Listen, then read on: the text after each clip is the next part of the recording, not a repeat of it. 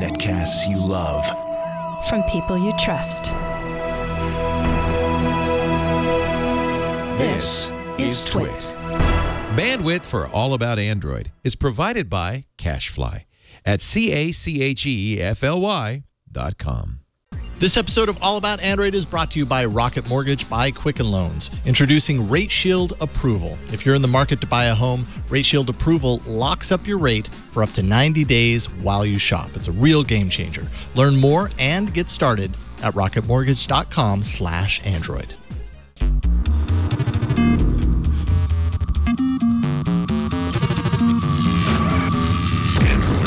Hello and welcome to All About Android episode 379, recorded on Tuesday, July 24th, 2018. We're your weekly source for the latest news, hardware, and apps for the Android faithful. I'm Jason Howell.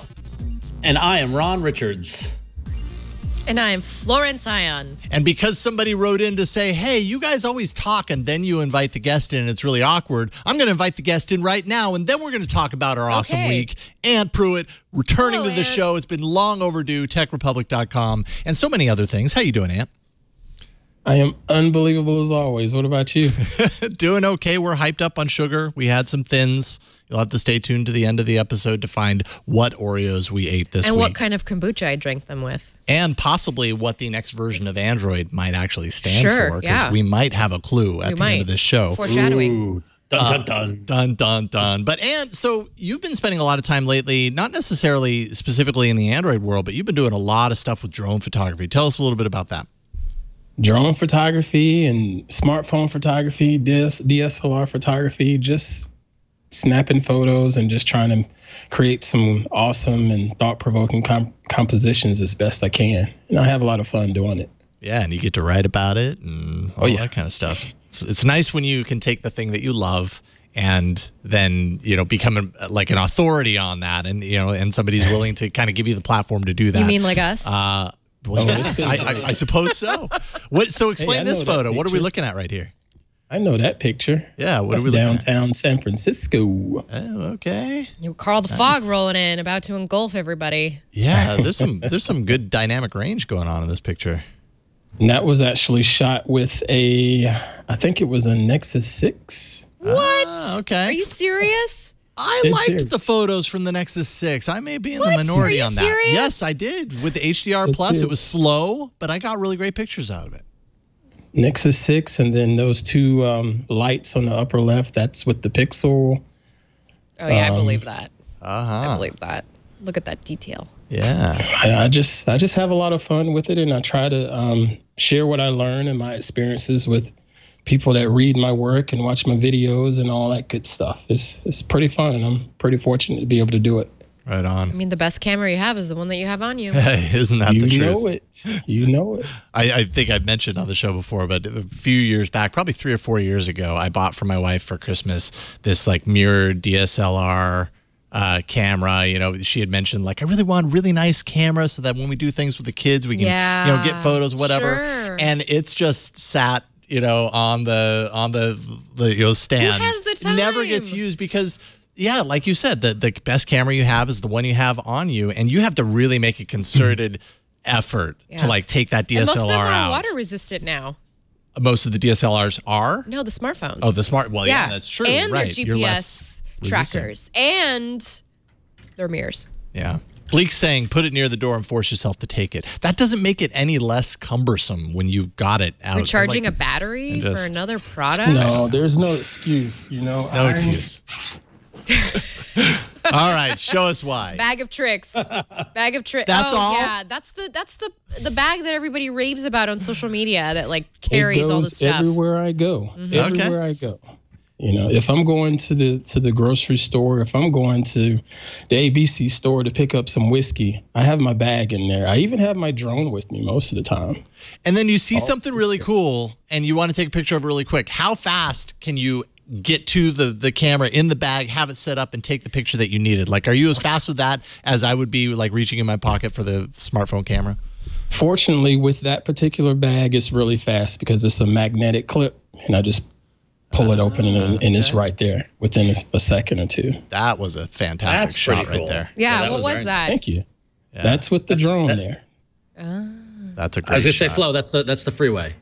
Yes. That's uh, planet Earth. That's amazing. that, that I mean, the, the, that drone photography stuff is. I have a couple of friends who are into that stuff, and you just get some amazing perspectives that you never really see. You know, like to see it from that angle. So cool. Totally. I mean, you know, back not very long ago, you needed like a complex crane or a very expensive Yeah. airplane to hang out of Or in order to do any of this stuff. Remember when they used to do helicopter views for movies? And now everybody can just like fly a little drone around and, and take these great shots and great tracking shots that are, that just look cinematic and Hollywood. And yeah, it's cool. Yeah. Well, well. So speaking of bags, can I show off my bag? Oh yeah, what's in what's in your bag? Well, because I, I, I don't everyone know everyone knows, but like um a few months ago, I got the wonderful bag, the OnePlus bag. yes. Yeah, that was a while ago. Yeah. folks at a good OnePlus. Yeah, bag. that's pretty pretty cool, right? There's the OnePlus logo. It's actually a great bag, and it's got a nice little slot for your laptop. I don't know if I can how quickly I can get a camera out of this thing, but it's a pretty good bag. But I always felt kind of weird because I was had a OnePlus bag and I didn't have a OnePlus phone. And uh, those of you who were watching last week know that I've been using the uh, uh, Moto X2 because my Google Pixel died. Uh, but sure enough, today in the in the mail, uh, I got this I got this curious box. Oh that- that wow. might- What is that that? Wow, might Jason. look familiar to some Wonder, people, wonder what ha- why that happened. but sure enough, what's in it? Oh, but, nice. wow. Oh, I love it. You saved on bubble wrap. the bes- the bespoke uh, box gave me, uh, as it says, the, the speed you need. It is a OnePlus Six. Thanks to the fine folks at OnePlus, as well as my All About Android sister Florence. Thank you. So I'm going to be giving the One Six a little bit of a, a test Yes. drive for a little while. Now Nice. the irony I like is, it. is that literally the day after my Google Pixel died, I finally got in the mail my Google Pixel case for being a local for being a local guide and uh, so I don't have. I could use my map of Queens, New York, on a dead Google Pixel. Oh, so That's Cool. super cool. I want a local guide case. I should- might try. I might try to resuscitate the Pixel just to use that. I don't know if it will fit on the Pixel too. We'll see. I don't know. Or, but ju- or um, just carry around the Pixel, maybe turn it into a necklace with the case on it. Yeah, flavor but, flavor. hey, if if the dang thing will stop rebooting, I could use it as a Wi-Fi device or something. I don't know. Yeah. But I'm super excited to be using the OnePlus 6. I, I haven't set it up yet. I'm going to set it up after the show. Um, I'm actually going on vacation tomorrow uh, for a few days. I'm going to be in Pittsburgh at the annual Pinburgh pinball tournament, and I'm going to take tons of pictures. I'm going to give this a test run on the battery life. We'll see how it goes. But Jason. Yeah. I, I feel like I can't get rid of the bespoke box, and I don't have a lot of room in my apartment. But I'm going to save it for when I need to send you something back because I, I don't want this to get thrown out in New York City. I was gonna say, just send it back if you need to. Yeah, No, I, might, the- I might just send it back empty. I don't know. I'm not trying to throw shade on OnePlus, but that box looks exactly like the Nexus Six Nexus Six box from a couple of years ago. Does So it the white box or the bespoke box? Yeah, the white yeah, box. that box right does look there. very Looks like the similar, Nexus Six. I think on purpose. I think, and also the Nexus Six box kind of looks like an iPhone box. Yeah. Oh, yeah. Okay. Yeah, I, I think the the white, thick cardboard, minimal packaging. Apple did set that design aesthetic. Bo- box aesthetic. innovation has slowed, maybe Yeah. a little bit. So um, no, We but I'm need excited. innovation in boxes. yeah, we do need innovation boxes, but I've never used the OnePlus as a daily driver before, so this I'm will be so my first. excited awesome. for you. I'm so excited Yeah, for your yeah. experience. I can't wait to hear what you think. And I'm also very curious to hear what you think about the pictures coming from a Pixel. Yeah. So Yeah, you're gonna like that phone. I think you'll you'll enjoy it. Uh, good. I'm happy it got to you, and we can make sure that that box becomes a running uh, character in the show, one way or another over whoa, time. shipping it next. I don't know. Stay tuned to find out. Uh, real quick before we get to the news, just a reminder: we do this always at the end of the show. I thought I'd do it at the beginning. You know, just switch things up. If you haven't subscribed, you should do it. Twit.tv slash AAA. You can find us in iTunes and all the other places. We say it at the end. Now I'm going to say it just real quick at the beginning before I throw to Victor for the news. I know for a fact that since All About Android started, we've reported more news on Android News. That's true. Not less. Not less. No. well, that's true. That's that is fact. Let's be honest. Yes. Uh, like this news, did you? And by the way, I am still using the uh, the Chrome tab So if I get frustrated, throw it across the room. You'll you'll understand Wow, why. all right. I'm trying to uh, get to the note that I have embedded, but I cannot. Salute you I have the note. If you'd, like, if you'd like to peep on over my Uh, screen. oh, wait a minute. I got it. I have my little sliver of, of detail here. The EU. You probably already know about The this. We talked about it Union. y- the, uh, last week uh, because the actual fine had not happened yet. Well, now we know the EU issued a record breaking 4.3 billion euros fine to Google. And that's a penalty for what we talked about a little bit last week the anti competitive behavior on the part of the Android OS and Google's management of that. Quick summary of what that means or, or what those charges were. Google forces pre install of Chrome and Search app as a condition of carrying the Play Store on the device. That was one of the charges. Google paid for Search app exclusivity to keep it shielded from competition. This is what the EU says.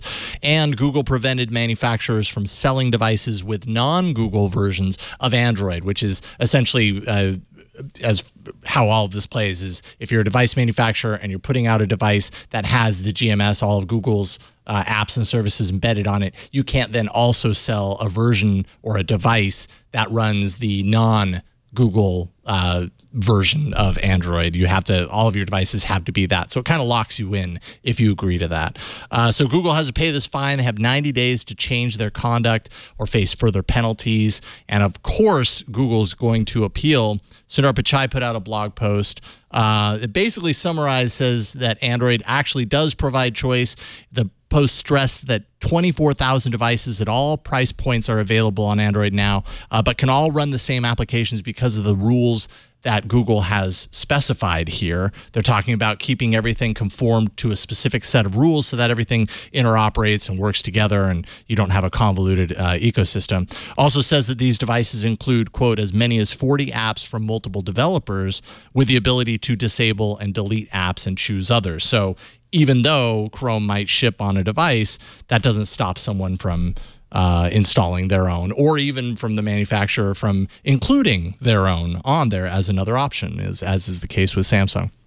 Um, I, I realize I'm throwing this at you, Victor. Is Pichai possibly, is Sundar Pichai possibly standing by uh, to answer one of our our uh, our calls here? I don't, he he might not be. Oh, he's offline. He's too busy. That's okay. He's too busy dealing. He's yeah. He, he it's we, it's okay. we lost him on Skype. All right. Well, so he dropped off on Skype, but before he went, he yelled out very quickly. He said, "We are concerned that today's decision will upset." The careful balance that we have struck with Android, and that it sends a troubling signal in favor of proprietary systems over open platforms, which I think is an interesting statement because I think the EU would use this statement uh, to back their side of the argument, right? Because they, they think that Google is being a little bit more proprietary, I think, in that sense, and not allowing others to compete in the same playing field. So that's kind of a summary of where we're at as a result of all this. And uh, it happened. And hey, who knows? In 90 days, if Google doesn't make changes, sure that they will. But if they don't make changes, this story could continue. Uh, what do we think about it? Should we throw to you, Flo? I have a lot to say on this matter.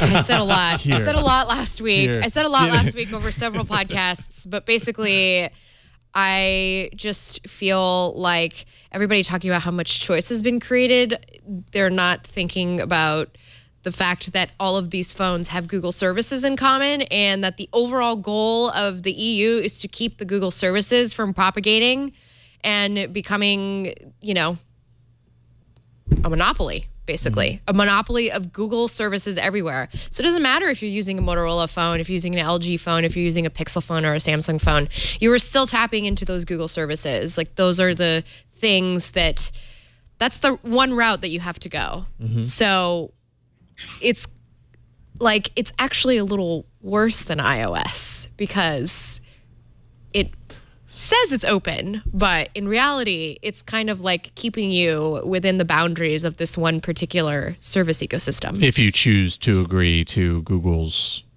requirements, stringent requirements Yeah. in in allowing those Because services to be there. So are you saying that you I mean do you side with or do you kind of understand the EU's I do. thinking on this? I do. Because why does a Samsung phone have to have two browsers on it? The only reason it has two browsers is because Google requires that the Chrome browser not, is on there, but Samsung wants its browser that it puts its own development work into to be prominent on the phone. But then in the end, it's the consumer that loses out on it because now I've got like two browsers that I have, one of them I can't delete.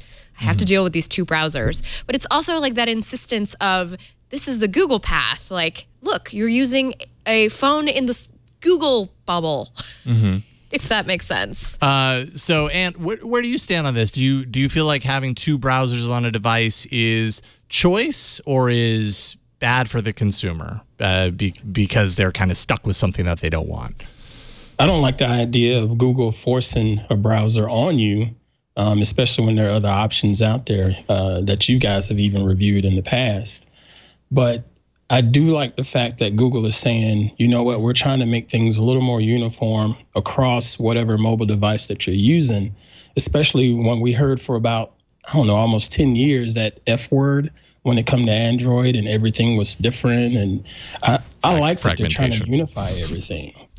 See, you knew it. I ain't had to say. Some actually, I, I feel like fr- the fragmentation as a word and as a discussion point has really kind of fallen off the map a lot in in the It last did? couple of years, almost to the point to where I felt the need to say that so someone didn't think it was the other F word. because it's coming back around. Because uh, I think that's why Google's a little, I mean, not scared. I don't know if that's the right word, but uh, a little, why it's kind of leaning in the direction of like, hey, we're creating choice. Please don't rock this boat. We're working so hard to try and like reel all of this back in. And if we have to comply with some new standards, that's just gonna like change everything we've been working on. Yeah, so no- that's what I kind of I feel is quite- the is the real note of that. You know, we've created more choice. Please side with us. I can't quite wrap my head around the we created more choice talk. What, what do they mean by that? What, do- what does They- Google uh, mean by they- that? They obviously created more choice by by giving an alternative to Apple. Right? Like if you if you don't want to spend if you don't want to or can't spend the money on an I, iOS device, what other choice did you have? A feature phone? Well, Right? maybe So- it would have been a feature phone if Android weren't on every phone and there were other operating systems. Well, I- but, but yeah, but this is this is a weird this is a weird kind of existential crisis loop you get in because when the smart when the smartphone market emerged, right? They were we already had Windows Windows phones, which we all knew were garbage. iOS was a revelation because it showed what a smartphone could do, and then Google responded with Android to provide competition and choice in the marketplace. You know, there are other there are other operating systems that have tried to launch and never got traction. So I think there are, you know, admittedly I'm being pro Google in this argument, but they absolutely did provide choice. There was there there for for a year, or however long it was until Android came out, there was one choice. It was Apple, and now and, Okay. and Google is give, given a second one. So I don't know. Okay. I, mm-hmm. I I I think I think that they did give choice, but I also think that two browsers on a phone is not the end of the world at all. No, I think it's I've not. got, It's I not. think It's I've got- not about the browsers on the phone. Yeah. It's still like Google created choice, but Google created choice within its bubble. It's like here's choice, but the only real choice that you have is that the Google service is behind all of this, and that the Google branding is what's behind all of Okay, this. okay. So then take a step the back whole- one a little bit. And what about the fact that Google actually offers two different types of Android? Google offers Now it does. Sure now it does and has for quite a while. Google offers a version of android that has its services looped through that you agree to that you say if i, I actually want your valuable services and your apps on my phone because people want those therefore i agree to this or you agree to not do that and you can do a version of android that includes anything that you actually want. I mean and the, and then of course the problem ends up being that everybody wants access to the play store that has the kind of the richest app ecosystem that android can Yeah. provide. Um, but Google i mean you do have choice right? You do have some choices there is but that's I not enough seeing- choice according to the eu is that right? I remember seeing in a chat room recently someone talked about uh, maybe like a grandmother or somebody getting a new phone, and they didn't want to set up a Gmail account. They just wanted a phone and wanted to be able to fire up the browser and all of that. And I think that's the, another big problem with it is just forcing you to sort of sign up for those services, or else you're just getting somewhat of a dummy phone. Hmm. We also have to look at the fact that I just don't think the EU wants Google to get as big in Europe as it has over here. Like it's this is totally just a matter of regulating a company that's as big as Google and has as, has its hand in as many pots as it does. And I think mm-hmm. the idea is to keep it asunder, kind of the same way it did with Microsoft in the 90s. And I know that's like the big thing Yeah. everybody keeps relating it to, but it you know, I still think it holds some credence. And I think we have to look at that history as well to kind of know how the EU operates compared to America. It there are Sounds like oranges to oranges to me. Did the changes that were made with Microsoft back then, like, did they amount to what the EU is hoping will happen in, in you know, in pushing Google in this so. direction? I mean, they're still I absolutely around. think so. Yeah. Still around. But yeah. I mean, yeah, I I absolutely think so because they they forced Microsoft to provide alternate browser options in Windows, and they complied.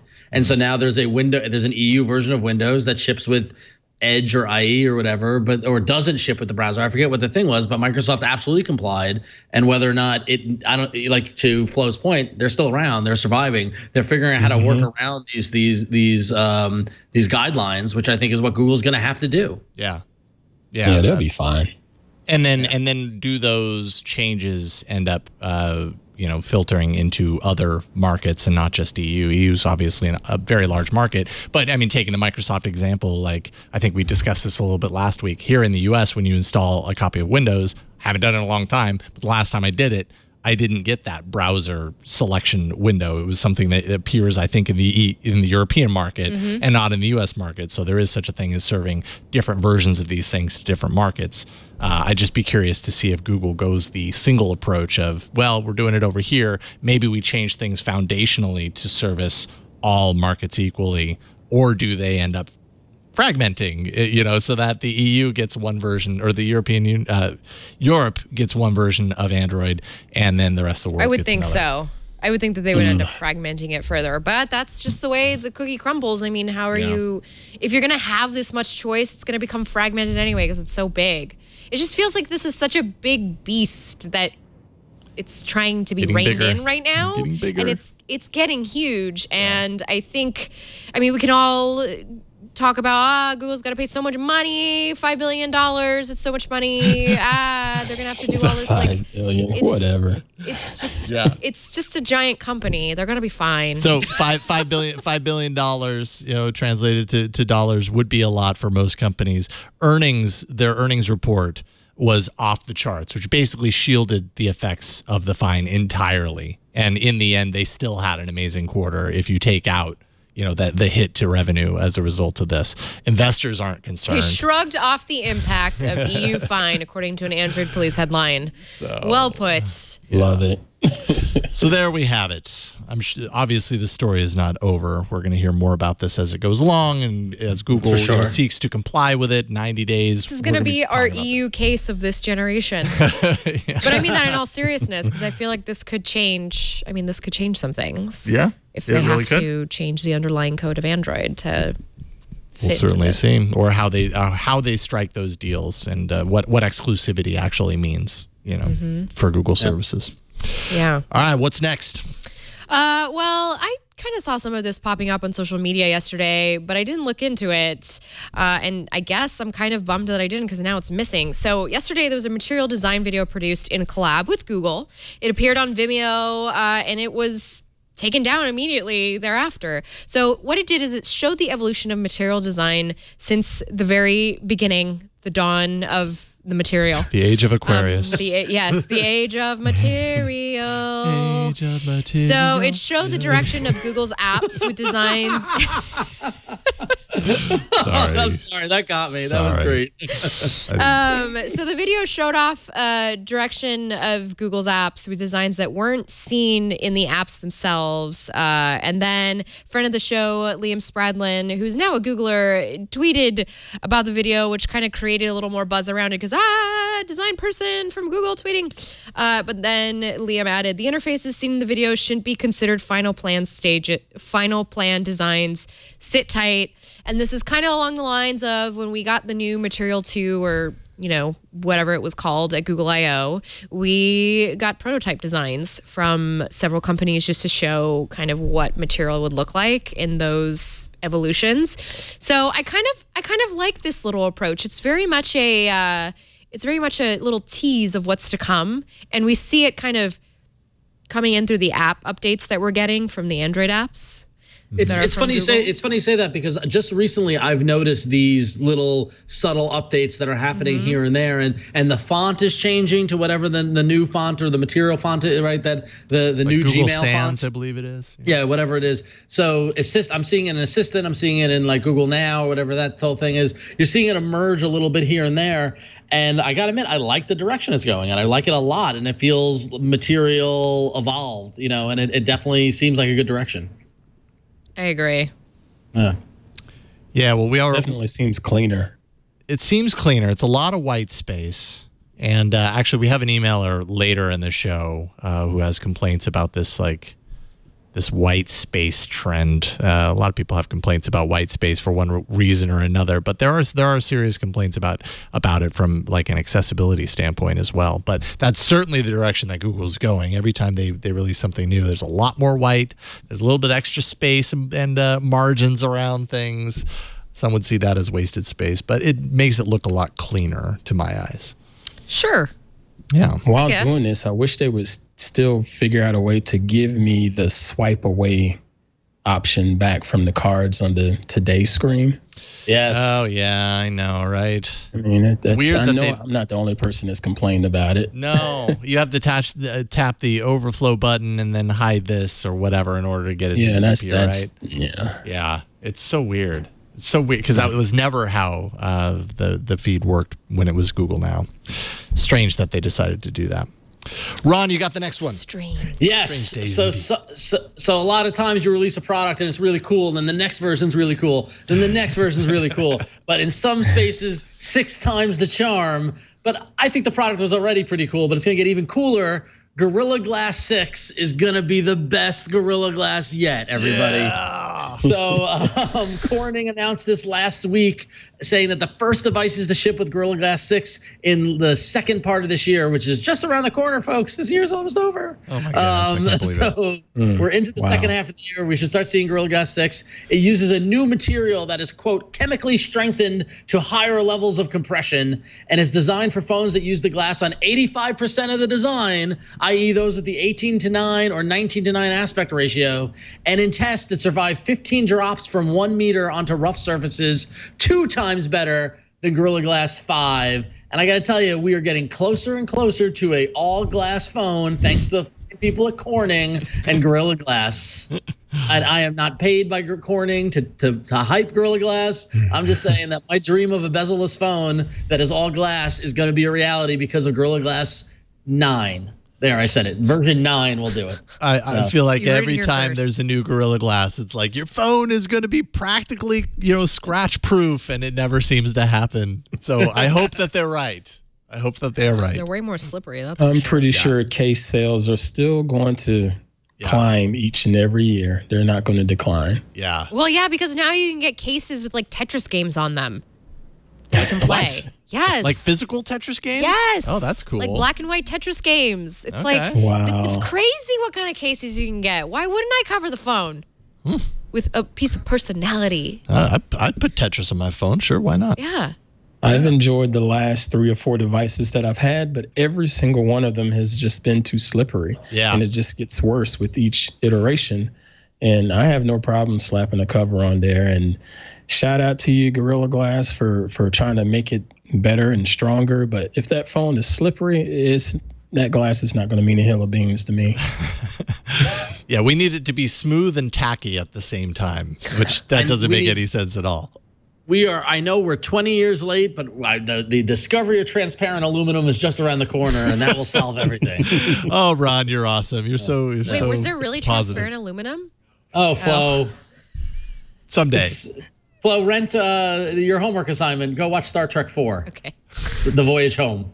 So- and actually, to be honest, Flo and anyone else in the audience, if you have not seen Star Trek 4, The Voyage Home, whether you're a Star Trek fan or not, watch it because it is one of the best Star Trek movies and it is a hilarious glimpse at 1987 San Francisco. That's right. It's been a Oh, long there you time since I watched that one. So, Flo, I think you would enjoy it. The, It was all shot on location. Okay. So, all right. That's your homework. We'll check right. in on Yep, it next yep, we'll week. check it we'll next test week. you on a single fact from within the movie. I got it. Pop quiz Pull it next out. week. So you might have to watch it two or three times. Just saying. uh, we got a voicemail from Willie. Female. a voicemail from Willie. I uploaded it on SoundCloud, so you'll find the link there, Victor, about Amazon Prime and for phones. Probably. I do have it. The show last week, I heard about Ron's uh, unfortunate um, accidents with his phone, and so he had to go back to using another device. I wanted to call in with this. I don't know if y'all knew about this, but Amazon Prime has this deal where on some of the Amazon Prime phones, you can get them in payment plans, and it doesn't require applying for credit or anything like that. It's just as a Prime member benefit, you get to get these phones that are payable over time. Um, I saw one of the Moto X4s, I think, was available like that. There was uh, LG G6 that you could do that with. And so just wanted to throw that out there. Maybe that's an option for Ron and for some of the listeners who are looking for a new device but don't want to break the bank. Hope this helps and love the show. Keep up the good work. Take care. I didn't realize Prime had this. So it's uh, Me either. No, either. There's a ton of blue phones in there, the BLU uh, brand. Blue. So they Please don't definitely buy have blue phones. yeah, they definitely have uh, deals with certain uh, They also have Honor manufacturers. 6X. Huawei, Are blue- ZTE. Are blue phones the ones that send your data to China? yes. Oh, They okay. Don't do that, folks. I Don't think do they're- that. I think they're one of them. They're just not. Listen, they're not listen. very reliable. Like yeah. Listen, send your data to China once, my bad. Send your data to China twice, all of our bad. That's what they say. The, the let's see, the BlackBerry Leap Factory. Am I reading that? right? What? I don't know. Black by BlackBerry, fifty-five dollars. Okay, that's that's obviously weird. There's a lot of strange phones in here, I will say. Uh, but I didn't know that Amazon had this. And and as Strange far as I can understand, if you're a Prime uh, Prime member, no oh, look, finance charge. No what's that? A Sony phone. A Sony. Yeah, I'd take an Hey, Xperia. There's a Sony. Uh, Moto G. There's a couple of uh, older Moto G devices gen. in there. But no finance charges, no interest, no hidden fees, no credit check application required. It's straight up. It's a monthly payment plan. Zenfone 3 Max. Instead of paying up front, you just pay monthly and you pay less that way. And uh, so, you know, Do your someti- research. Sometimes when you're when when you have a device break and maybe maybe you want an interim phone, you're waiting for something. Maybe it makes sense to do something like this instead of paying. Do your I, I don't know. I'm sure it's helpful to Type in the name of the phone and security breach. Yeah, The that's a name good of the idea. phone and data privacy. That's a good idea. That's a good idea. Just to be fair. safe. Yeah. So, anyways, thanks for sending that in, Willie. Uh, I did not know. realize that that existed. Consumery things do. we don't always we don't always get a hang of. Yeah. Well, we don't know about them until we do. And uh, it turns out Prime, Amazon Prime, has a lot of perks, and uh, so many that you they kind of get lost, right? You you kind of don't even know. yeah, they just keep adding them in. Uh, let's take a break and thank the sponsor of this episode, and then we'll get to some hardware stuff. This episode of All About Android is brought to you by Rocket Mortgage. By Quicken Loans. Uh, we're going to talk about buying a home for just a few minutes here. Uh, you may already have heard about the rising interest rates. It's happening. There's a lot of unpredictability uh, when it comes to buying a home these days. It's causing a lot of anxiety with folks. They don't know what their options are. They don't know if they should move now or wait or all that kind of stuff. Well, our friends at Quicken Loans are doing something about that. They're calling it the power buying process. And this is how it works Quicken Loans is going to verify your income, your assets, and your credit in less than 24 hours. So, super quick verification process to give you that verified approval. And this actually gives you the strength of a cash buyer. Once you're verified, you qualify for their all new exclusive Rate Shield approval. First, they'll lock up your rate for up to 90 days while you shop. So that rate is locked in there. Even if the rates change over time, you've got up to 90 days for that rate to stay in place. And then here's the best part if the rates go up, your rates will stay the same. But if the rates go down, your rate also drops. So no matter what, you're going to win. Uh, it's kind of thinking that you'd expect from America's largest mortgage lender. And then you can move, like I said, like a cash buyer. It gives you the strength of a cash buyer when you find something that you want to move on. So get started, Go to rocketmortgage.com slash Android. Rate Shield approval is only valid on certain 30-year purchase transactions. Additional conditions or exclusions may apply based on Quicken Loans data in comparison to uh, public data records. Equal housing lender, licensed in all 50 states. NMLS consumeraccess.org number 3030. That's rocketmortgage.com slash Android. And we thank Rocket Mortgage by Quicken Loans for their support of All About Android. And now it's time to talk some hardware.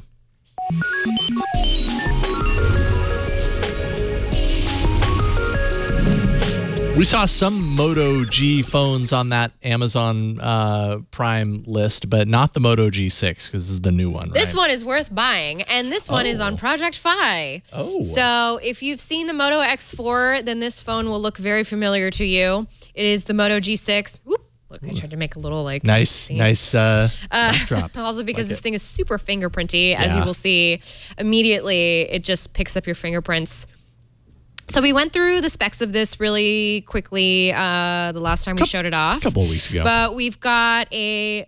Let me hold. Actually, hold on one second. Whoop. Let me make sure. Doot, doot, doot. Let me. Okay, there we go. We're good. We're good. so this is the Moto G6. Um, it's got a 5.7. Here I go trying to like make this work, and it's not. So it's got a 5.7 inch um, 1080p IPS display.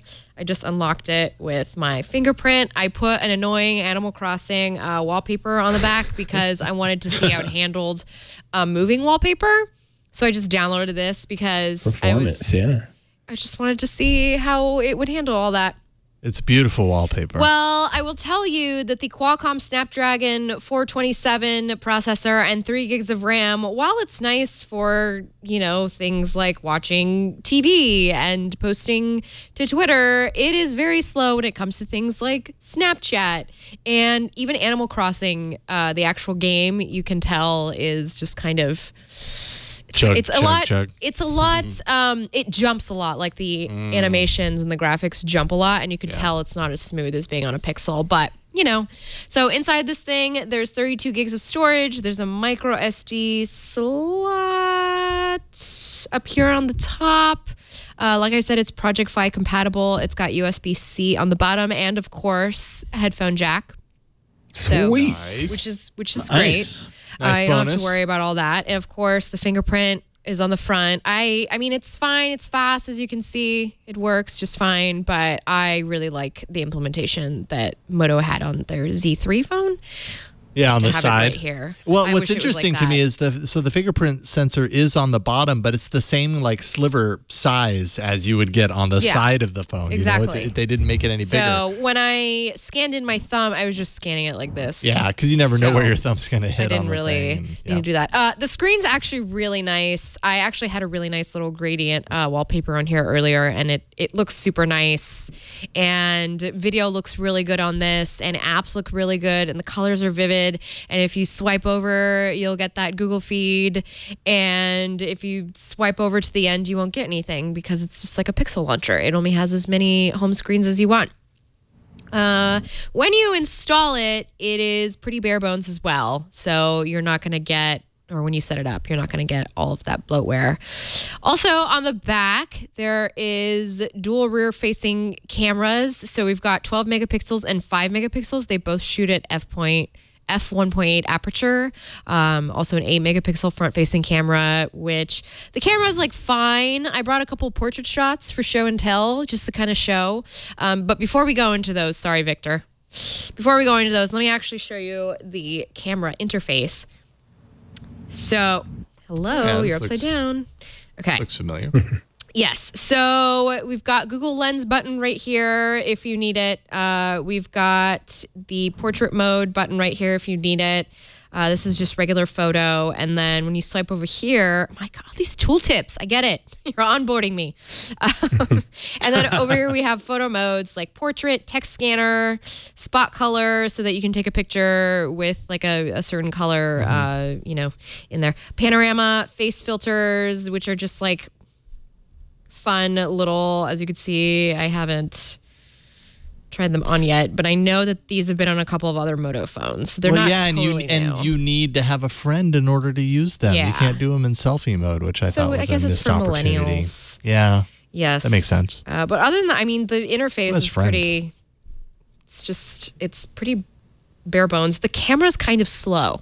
Okay. I will say you have to hold the camera still to take a still photo. So Victor, if you wouldn't mind rolling through those portrait photos, just so I can, so you can check. So this is just some portrait photos in my house of birds Oh. and um, candle wax and some mushrooms.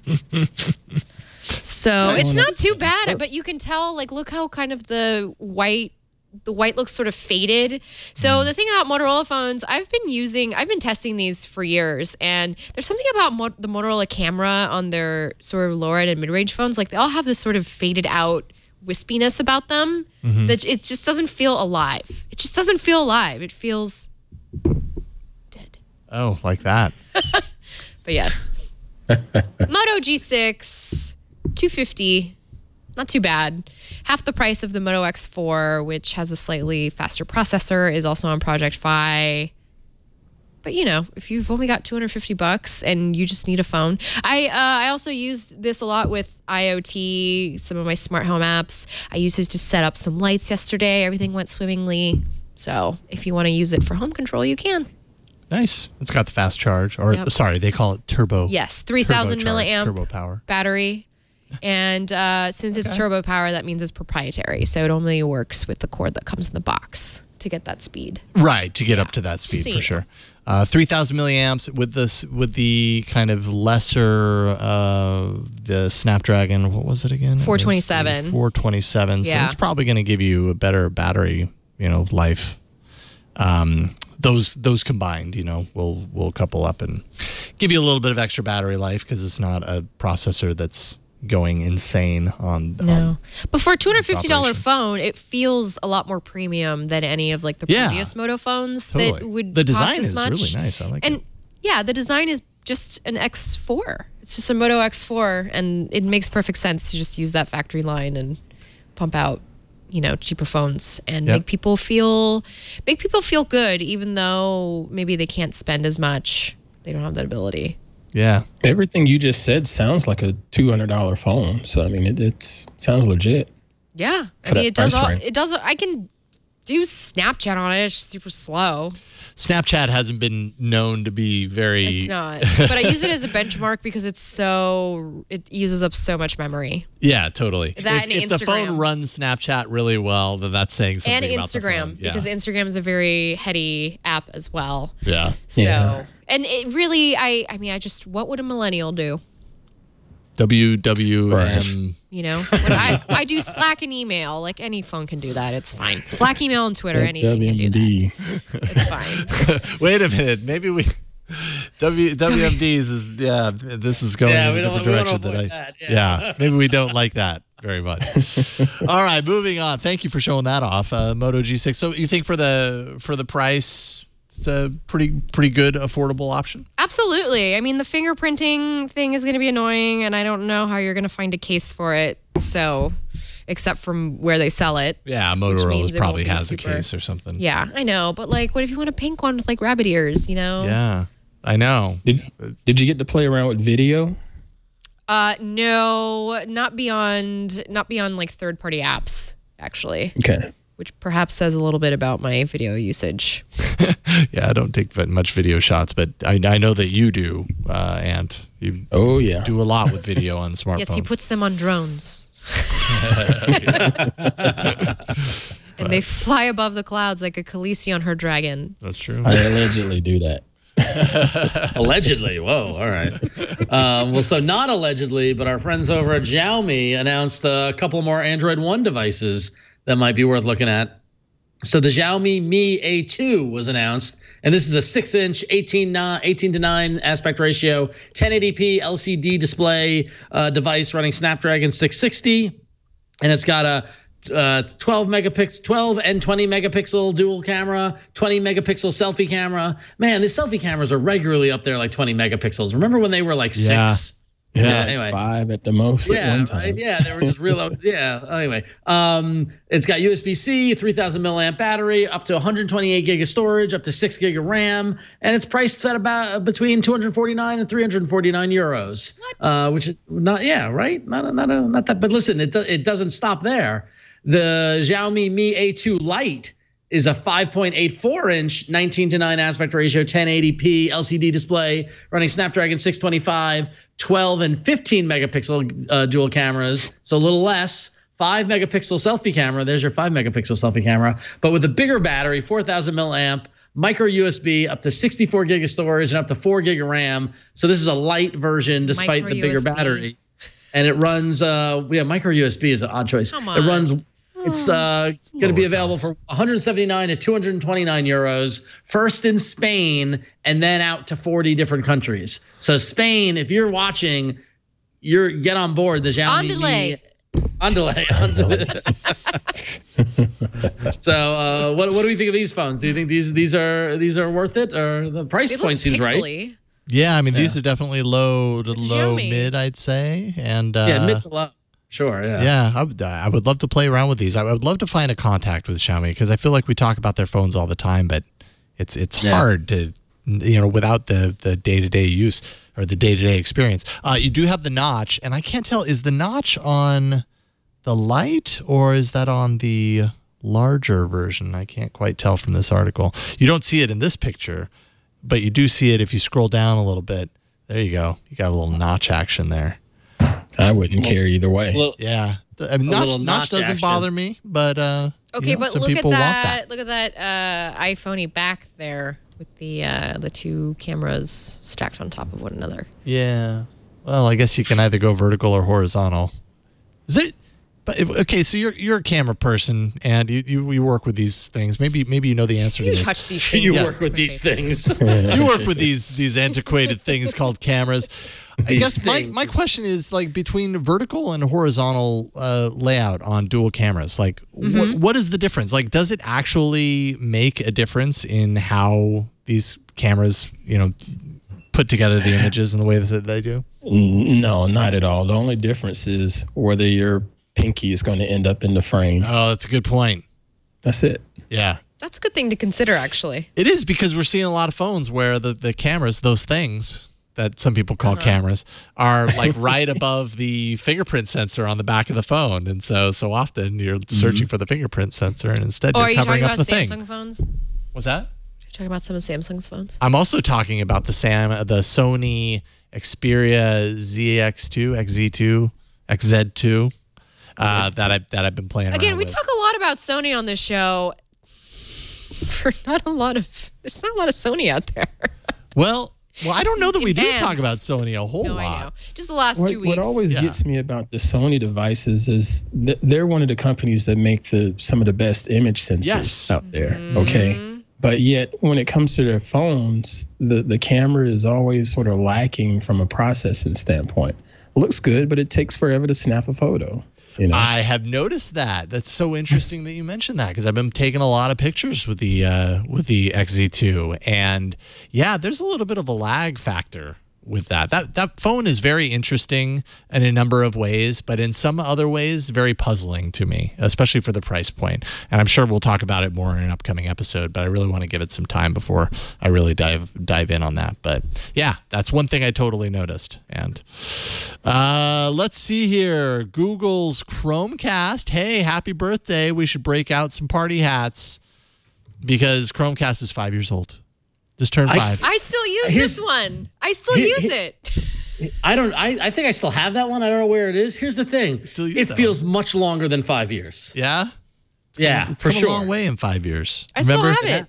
Uh, it's be, this whole experiment began with the Nexus Q. Oh, we remember the Nexus Q. Actually, I don't The know if it began with the Nexus wow. Q. If was the Nexus Q or Google TV first? I think maybe Google TV was first. Yes. TV was first. Yeah. But then Nexus Q came out, and a lot of what we ended up seeing in Chromecast began in the Nexus Q, even though most people never saw the Nexus Q. It never made it consumer to consumer shelves. Uh, Chromecast was a surprise in 2013. In 2014, Play Services expanded uh, apps uh, in phones reach into Chromecast, so it made that a lot easier. That was only four years ago. That was only four years What? ago. Oh, I know. Gonna go back in time. Later, It's so uh, funny that this. Oh, I'm sorry. Go no, ahead. no, I was just gonna say they released the Puck. They released Chromecast audio, uh, supported on Android TV. So now it's baked into Android TV. Then Chromecast Ultra with 4K and HDR, and uh, now a lot of these features come through Google Home as well, right? Like uh, Google Home replaced Chromecast audio for me, what I was using Chromecast audio for. Now Google Home plays the music in all the rooms, which is what I was using it for. so, Uh, yeah, it's come a long way. But sorry, I, I didn't mean to uh, cut you off, Ant. What were you gonna say? It's just funny that this article pops up and the whole anniversary and whatnot because Queen Pruitt just yesterday was saying to me, Hey, I used the Chromecast all by myself and I got it to work and it, I was able to watch this and watch that. And I said, You know what? That's great. Um, Google is elated because that's what it was for. It's for the people that are not as technical, allegedly, Yeah. to be able to just pick up their phone and, and say cast and let me see it on my bigger screen. You know, and it, it took five years for it to happen, but it's it's happened. Yeah, I would agree. Uh, Chromecast, I had an extra Chromecast, and when I went to visit my parents uh, a couple of years ago in Boise, I installed a Chromecast onto their TV. And that's like the ultimate test for me is if I can install something Yeah. on my parents' TV and then leave because I live in the Bay Area. And Right. if they end up using it or if they have any questions or issues, my mom didn't have a problem with it. Like it, she was able to use it regularly, and I think they still use it. That's how they watch mm, That Netflix. must be nice. I bought my parents one and they replaced it with a Fire TV stick. Yeah. Now they don't have They're like, YouTube. Ha ha. yeah, that's true. Oh, I bet they're really missing YouTube.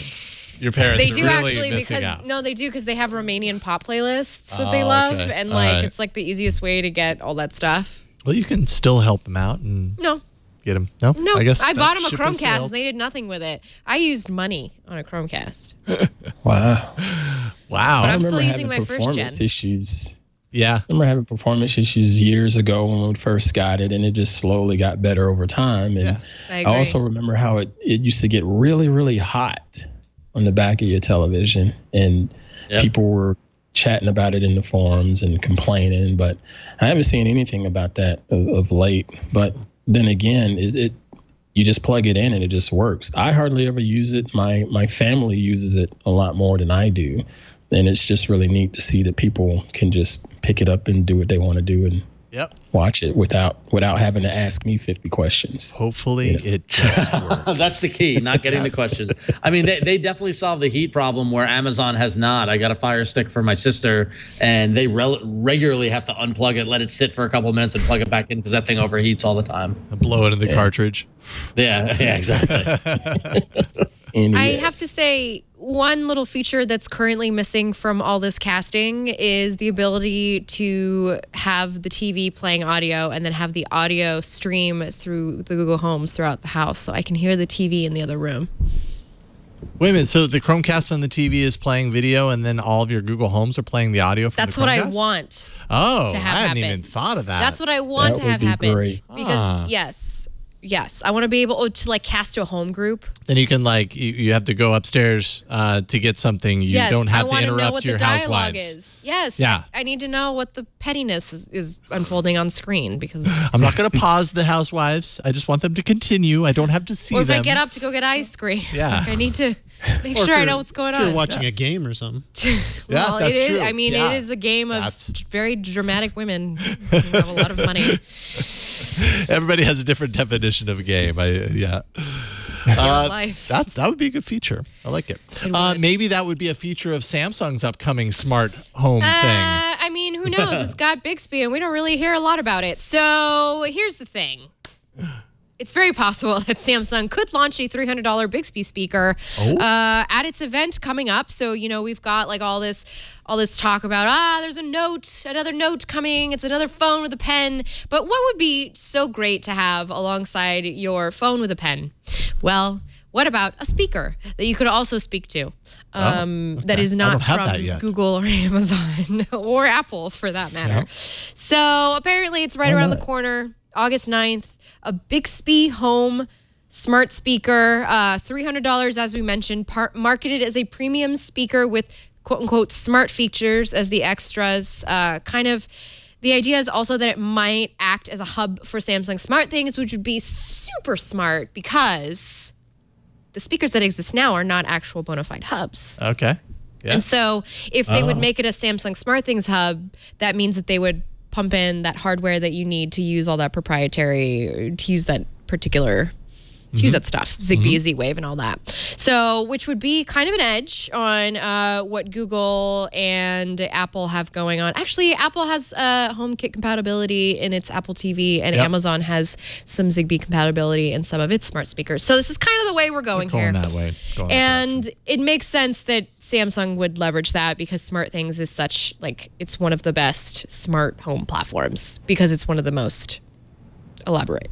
So, Cool. something to keep in mind. It's very much a possibility. Uh, also, a Galaxy smartwatch, and this one has definitely been popping up in my Google feed a lot. So, Samsung actually added a listing for the new Galaxy Watch on its site before removing it, and that's what was popping up all over my Google feed. There's no word if it's running Tizen uh, like the Gear watches, or if it's running your very traditional Wear OS backslash Android Wear. But Tizen watches are all Gear, like I said, so it's very possible that this could be also another Gear watch. EvLeaks also has fresh renders of the three color variants of the Note 9. So, along with that event, we're thinking maybe there's a watch, maybe there's a smart speaker, and maybe there's three different color variants of the Note 9. So, it would include black, blue, and brown. Brown. Which doesn't really Kinda look looks like brown. gold. It looks like a mauvish Yeah. um, of sorts, but you know. Yeah. So Yeah, yeah. Aye, aye, aye. Aye, aye, aye. I, I, I, I'm too old for this stuff, I guess, man. Just give me a black phone or a white phone. That's about Oh, it. you're too I old want- for I the like colors. purple. I like the purple that Samsung's been like doing. colors. I like the different colors. I like Do you the want a OnePlus do you want a millennial? Do you want a millennial pink phone? No, because that millennial pink is going out of style. It's not. Oh, it's, wow. It's officially on It- the it- out. So You, passe. you, you know She it's on the know. outs because I'm talking about it. yes. See, because you are aware, that means Yep. it's done. Uh, and Admittedly, admittedly, I, I found out about it from Disneyland, so because they have millennial pink mini ears now. I, I found out about it in a box of Crayolas. Millennial. There's a millennial No, pink and just kidding. I was about to say, Crayola, get with the program. Um, the S Pen, by the way, in that in those pictures, because we talked last week. I think it was last About week. or being yellow? About the yellow, the screaming yellow S Pen, and it appears that it's it's matched to whatever the graphic, you know, the graphic backsplash is on the display, as opposed to the actual color of the oh, device. Or maybe that's just the case right. with the yellow one. I guess I guess the yellow S Pen does have a blue tip when it's matched with the blue phone. That makes sense because it's part of the design when you put it into the the thing. Either way, we're not going to find out until August 9th. And uh, I mean, if you would like, you can come join Jason and I on August 9th Yeah. at 8 a.m. here on the Twit Network. That's because right. we're going to be live punditing the Samsung event. We're going to do our own little riff tracks, our own little mystery Yep. science theater, except you'll see our faces. We're not going to just be shadows. Although it would be awesome if we were shadows Yeah, sitting in our front of faces the enough. thing. That would be fun. Uh, maybe we can make that happen. Yes, let's see what we can Give it a little twist. It's not the stream to tune into if you want to hear 100% of the stuff that's happening on the stage. No. It's the stream you tune into if you want to hear 50% of it, maybe. Or 40%. It's commentary. We talk commentary. over them while Yes, they we do. talk about their we things. do. I do feel bad. The events that I've been on with you, Jason, and with Leo, like oftentimes, like it goes it goes quiet for a couple of minutes because we're all listening, Yeah. and it's like, and I'm like, oh, I should be talking, but Oh, no, I want to hear what they're saying. Yeah, I'm I know. It's it's a it's a difficult challenge to, to You gotta, do you that. gotta art to find that. your moment to talk when it's when it's not over something that they're talking about that's important. And So definitely don't choose to take the ad break right when they announce the price of the device, like I did. Exactly. Don't do that. Above all else, do not do that. The bad time bad for the ad break.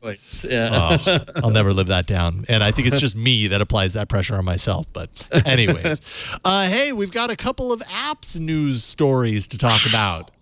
Let's do that.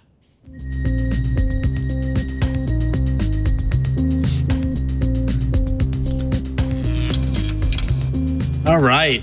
Did, did do we know if Sundar showed up or is Sundar still uh, He's still offline. Is he still offline? Either he's, he's way, offline. Yeah, sorry. Sundar was here, he would want to tell us, like he told everyone during Alphabet's earnings call, that Google Translate translates 143 billion words every day. What? Which is insane. That's insane. Um, and he also said that there was. We also found out that there was tons of usage during the World Cup in Russia, which makes perfect sense because people from all the countries in the World Cup uh, went to Russia to watch their teams play, and of course they need to translate because who knows Russian? Not a not an Argentinian. they need the tra- Google Translate. Um, so Sundar Pichai is there bragging about the number of words that they translate and what does the street do and what does people like Business Insider say? But they're like, you know, with that many words being translated, they should be monetizing that. I gotta tell you, the curse of this whole industry is, mo- is how, how do you monetize it? But um, and so a lot of speculation now. Do, you know, are you gonna uh, be able to? Or is Google gonna run ads against translations or do some way to some way to mon- uh, monetize it? I don't know. There's something about a great service that uses their machine learning that just works. Yeah. And Google gets their value out of you being a Google customer and getting advertising in other places that I really like. Um, I don't know. Do you guys think they should monetize the Translate app or what? I, I don't think they should. I wonder if at a certain point they go, You know well, actually, that coming, makes a lot of sense. But but you're right. Actually, Ron, I think you make a really great point, right? That Google doesn't have to make ad revenue on every single product that it creates. A large part of it can be just the fact that it's offering a service that keeps you locked into their e- ecosystem, uh, much Yep. to the chagrin of the EU. Uh, but yeah, I mean, there, there's value to be gained there too, because then in the places where it is appropriate and it does make sense, they then have you there to serve you there's, ads. there's something about a great app that works that I use that doesn't attack me with ads Yeah. that makes me want to keep using that company's product. That's all I'm saying. So, Yeah, absolutely. um, but this gets weirder now because uh, apparently Google Translate is predicting the future as well. Uh, so if you type type the word dog, do, you, do uh, Jason, do we want to do this live or can we? I, I, oh boy, are we? Uh, I, I don't know why I didn't think to do that. I might not even have Translate installed. on no, you don't have have to do it. It's. Translate. Well, anyway, so if you type dog into translate 19 times, you get biblical responses that refer to the doomsday clock and the end of times. But wait, from from what language to what language? Oh boy, Any- Uh, oh, I don't know. It's a good question. Let's find out. It doesn't matter. So I don't think it matters. Just type dog 19 times. four, five, six. Oh, no. Here it goes. Type dog 19 times and translate from Maori into English. They probably removed it at this point. I have. Yeah, they What the heck is Maori? It's a language. New Zealand. The Maori are the native peoples of New Zealand. Oh, Oh, okay. Maori, yeah. If you, oh my gosh, this is crazy. If you type ag, ag, ag, ag from Irish, or some. um, it gives you more other biblical references. I have to imagine that they've, they've Man, changed this. Yeah, and so you got to wonder who did this. Was it was it employees screwing around Bibs and just make, awesome. making a prank? So Or was it- Maori to English? So uh, yeah, Maori to English. Maori to No, it just says wait, one, two, three, just says dog, dog, four, dog. five, six, seven. 10, 11, 12, 13, 14, 15, 16, 17, 18, 19. Yeah. how many times did you hit backspace to fix the autocorrect? Uh, a bunch. That's why it took me a while. I have to imagine that they've corrected it at this point. Like, it's such a strange translation. Um, but yeah, it's uh, it, it goes. What what is one of these? Well, you know, I guess you can just read it. Go go look it up and read it. some some people might, I guess, get offended if we if we read some of this out. But it is very interesting. Like like you said, like how does this happen? And so much of Google right now is being driven by artificial intelligence that happens behind the scenes and predictive stuff that's happening. That a lot of people are are thinking it had something to do with that.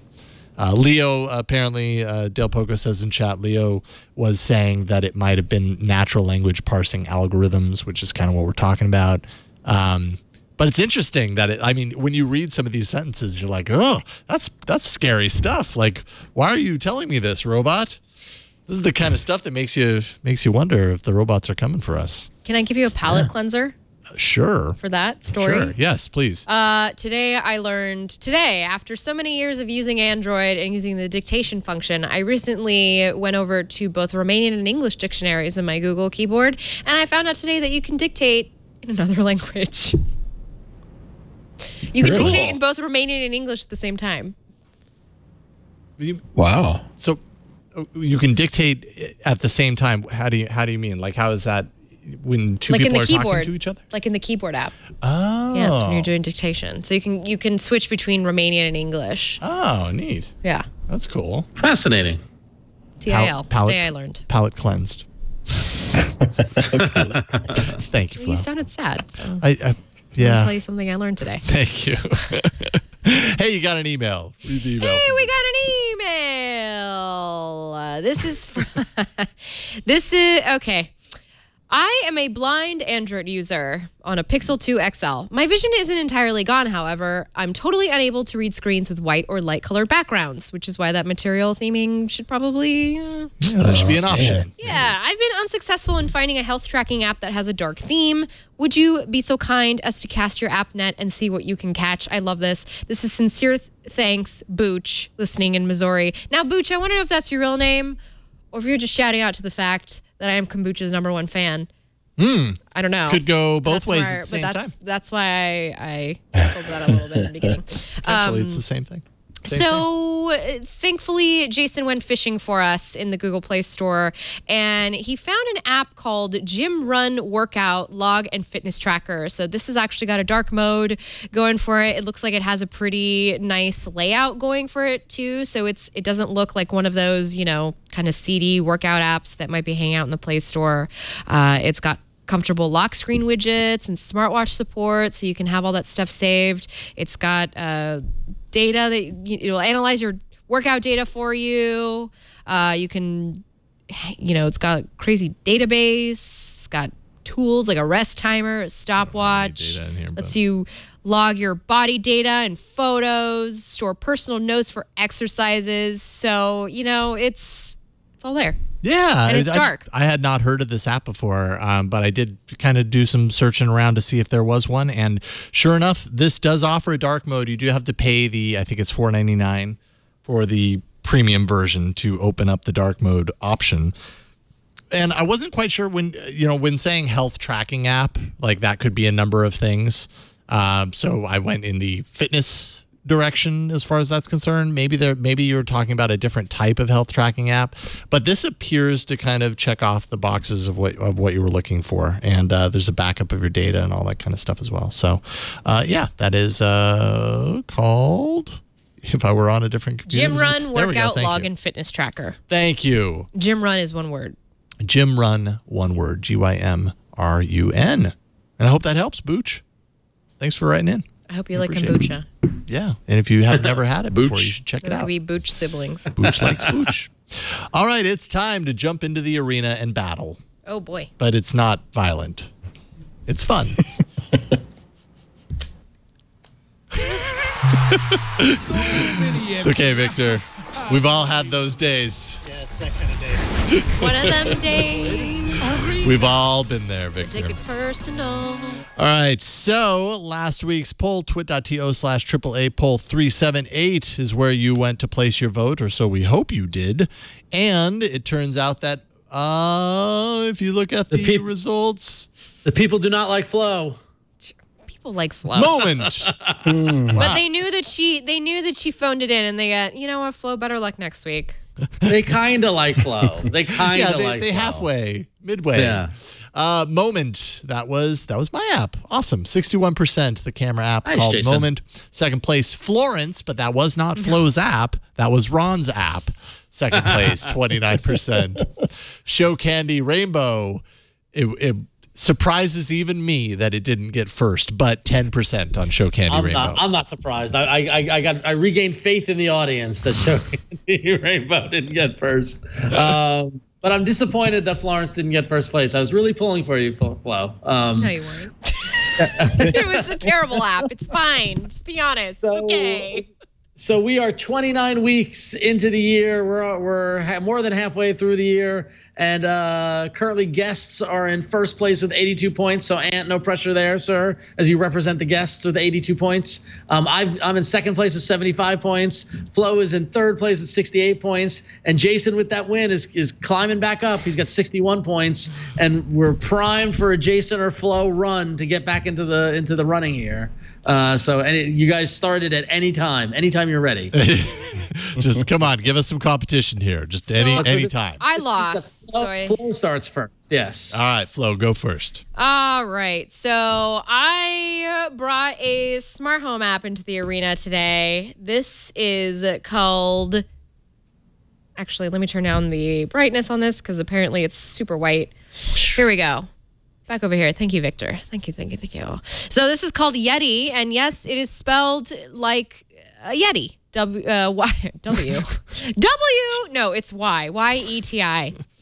Uh, anyway, so this is a very easy to use smart home app. And I kind of like to tell people about this who are new to the world of home automation, kind of don't really want to get mixed up in all the stuff that's out there, but they want to have some convenience in their life anyway. So Yeti is a good one for that. It doesn't support uh, a whole bunch of devices, but it does support all kind of the popular ones. So Philips, Netatmo, Nest, LIFX, Belkin Wemo, Sonos, Ecobee, Honeywell, TP-Link, Yeelight. Those are all supported by this app. This app, which is called Yeti. So it works with all these things, right? Which is great. You kind of you pump them in there. They all set up. It takes a couple of minutes. All you have to do is is put in your login information for your different cloud accounts, and then it syncs up. And all of these work. It's just a very easy, flawless remote for all of the basic smart home devices. So here we've got all the smart bulbs in my house, both the LIFX bulbs and the Philips Hue bulbs, and you can see they're all named exactly what I've named them in other apps. Um, unfortunately, this LIFX one I did not give it a cool name, but hey, whatever. And they remember everything that you put on at home. So, actually, let's see if uh, okay, yeah, that did work. Um, so this this bulb is actually this is actually a light strip at home that's turning on right now, uh, or I've got like my bedroom light, which shows that it's Freaking a red light. Out. Right, that's what's He's not home right yet, so Oh, this should be fine. Uh, here we've got a red light. You'll see that it's red, so we know that it's red on in my bedroom. Um, the guest room, we're gonna turn on that light. That's just a regular natural light, and I really like the fact that yes, I will tell you later. I really like the fact that you can control all the bulbs at the same time from here. You kind of have this nice little visual aid. I have a lot of natural bulbs in the house, so that's why everything is just kind of boring and white. and then uh, everything that hasn't turned on is over there. There's also routines that you can set up. So if you've got a good morning routine that you want to start, you can select the day, select the time. You can go in and select the device, what you want it to do. Maybe you want that living room lamp to turn on in the morning to 90 brightness. Make like sure that UI that. downstairs is. And that's the thing about this UI, by the way, is that it's just very nice and easy to use for anybody who's new. Uh, I did bring in Stringify to the arena many moons ago, and that's a great, robust app, and it supports a lot of different ecosystems. But it's just not as easy. It, it's not that like beginner feel to it the way that Yeti has, uh, which is really nice because again, you've got very basic labels on the bottom. You want to go, you know, change. Let's let's actually do a. Um, do I have? Yes, a color light here. So this is a color light. So you can choose the color as you need from here, choose the warmth as you like, and the effects. So if you wanted to loop colors or blink, um, or perhaps you. Uh, I actually haven't tested the magic wand, which tips your phone towards the device, like using a magic wand to turn it off. Okay, Harry Potter fans out there, there you go. You can pretend to turn that off that that way. So that's nice and easy to set up. Uh, just different routines. You can add a custom one based on location or time as you like. This does do geolocation. There's things like m- uh, movie mood and party time, of course, which records your music and uses that to pulsate the lights in tandem with everything else. I haven't hooked up any of like the Nest accounts or anything uh, because I actually was using this app for a bulb roundup I did for a client. So that's why this is all set up right now. But you know, if you just want like an easy smart home controller and you've got all the stuff that people have in their house, you know, all the stuff that you can easily buy at Best Buy, Walmart, and you just want an easy way to control it, this is this is a good way. And then, you know, create an account. You you know, lets you ex- easily explore devices and different cloud brands. So, it's nice and easy. It's an easy app that just went white on me. Thanks. there you go. Yeti. It sounds just like the Abominable Snowman, but it's not abominable to use. That that should be their pitch. tagline. It's not abominable to use. Uh, and it's free. Well, right on. Excellent. I just realized I like while the- you were showing whole that off Swiss that Army my post knife. was wrong. So, uh, vote. All right. Sorry, I had to do some behind the. You can see I have two computers here because this little Chrome tab doesn't quite That's do not what a I needed computer, to do. Jason. sometimes. You, you can't really do everything on the Chrome on the tablet, unfortunately. Not unfortunately. every everything. Almost. Not everything. Almost everything. All right. All right. Am I up? That Yep. means I'm up. Go for it. All right. So sometimes you want to watch internet videos, and sometimes you don't want to think about them. And also, sometimes you don't really want an algorithm to tell you what you want to watch. You want actual people. So if you're looking to be entertained, to lean back, use your Chromecast that is now five years old, um, you should check out the app that you don't have to think about. It's called never NeverThink. And what it is, Okay. what it, yeah, what it is, is it's a TV app that is curated by people and organizes videos by topic. So um, if you look in the navigation there, as Jason's showing, you see the little video, video player along the top, but then there are all these little cards of different types of videos. So there's if you want to learn something, if they're memes, if you want to laugh. If you scroll down, there's an avocado that says millennial AF. I don't know what that means. Um, if you're if you're into documentaries, you see there's one that's documentaries. You can go to news. So it's a good balance. It's not just all dumb dumb memes of people getting hit in the crotch. It could actually be the latest news reports or interesting information, celebrity news flow. Um, you know, they've got TV and movies, lifestyle. They got all these really great curated topics, and you just connect it to Chromecast and sit back and just see what their cur- what the curation brings, what videos are out there on the internet. I found that I used to do this on YouTube with what was trending or what is popular, and I've I've, I've increasingly been uh, disappointed by those results. Either they're repetitive or they're not really into it or whatever. Um, I like the idea of this of this being a curated channel and watching uh, whatever is being rolled on like Is this the oddly- ASMR channel? odd- It's oddly satisfying. It's soap crunching and crushing ASMR. That's oddly satisfying. Um, but uh, yeah, so if, so I don't know. It's cool. It was just it was neat to see uh, to see a different approach to providing video from the internet. Um, you can you can.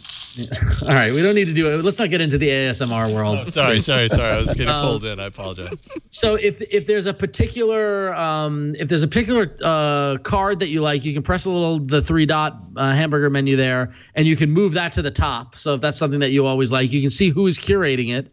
Um, but you can always do that. If there's a particular video you like, you can favorite it. So you can hit uh, the the heart there up there, and it will come up again. Um, and then you could also on the bottom hit the hearts to see your favorites, and that way if you want to revisit all your favorites. Um, and then in the settings, the interface is really nice in that it lets you um, turn subtitles on or off, adjust the quality, um, as well as backup and sync devices, which is pretty, which is pretty neat. Which is a function I, I often like um, with when you've got favorites and things like that. You don't want to keep your data uh, just on the phone on the app. So never think. Uh, an interesting way to approach internet video if you just want to sit back and watch TV, either on your phone or on Chromecast, free in the Google Play Store. Check it out. There you go. Never think. That That was The TV of the internet. that is really cool. Yeah. It's an interesting, uh, interesting idea. Interesting approach. I love it. All right, that is never think. One word. Uh, Ant, you are up next. I have your app installed. I'll show it off while you talk about it. Well, mine will be short and sweet. Um, it is Storm Radar, and put it put it frankly, it is a weather app. But it's a weather app that I, I love using, especially this time of year here in North Carolina. Mm. We have our summertime, but it's hu- humid and we have a bunch of storms. And for me, with when it comes to photography, the best time for me to get out and shoot is either right before a storm or right after a storm. And with this app, I can pull it up and look at what's going on in my area and use a little timeline to figure out where's the clouds going to going to be within the next hour, the next 30 minutes, or what have you, and try to plan out safely where I need to be to set up my shoot. And I've been working on trying to do some drone shots to get lightning, and I've been able to get a few here and there just from figuring out what's happening on that map and sending my drone up in the air and hoping it doesn't get shot down and uh, just going to shoot. And it doesn't cost you anything. It's free. There's a few ads, but I never see the ads. But if you're a weather weather geek, you probably already know about this app. But again, from a content creation and, and, and photography standpoint, there's no better time, well, other than golden hour, whether you know in the morning or in the evenings. But if you like shooting landscapes, just go out there and go right before the storm or right after the storm because you're going to get some amazing cloud cover and the light's going to be just right. And that that storm app right there just will help guide you along the way. I feel bad we don't have any weather to show anybody here. It's Well, the coast dry and always hot. has a North little bit Carolina, of- We've had storms. Just swipe on over to North Carolina. Yeah, go to the East Coast. What are you doing over here? You're on the wrong coast. We've got nothing going on over here except forest fires. North. There you go, North Where- Carolina. There we go. All We've right. had storms all week. And and it says it tracks tornadoes and hurricanes as well. Yep, yep, yep. And you get all of that beautiful detail. Oh, that that must be scary. Yeah, we had a tornado here yesterday, Oh, uh, right here in my town. No big uh, it wasn't too bad. It did sort of just zip through, so it didn't really tear up too much. But yeah, we're used to it. It's, this is how the summer goes here. It's extremely weathers. hot and humid, but then we get random storms like this. You know, a couple times a week. want to see how hot it was earlier. Oh, okay. Yeah, well, at least in this area, uh, not too bad. Right on. This is a well-designed app. It looks really nice. I like the animation aspect of it and how it The Weather Channel. into the future. yeah. Turns out they know a little something about weather. just put some jazz on in the background while this animation. plays. right on. That is called Storm Radar. Storm radar. Good pick. Super simple. People in chat are excited about that too.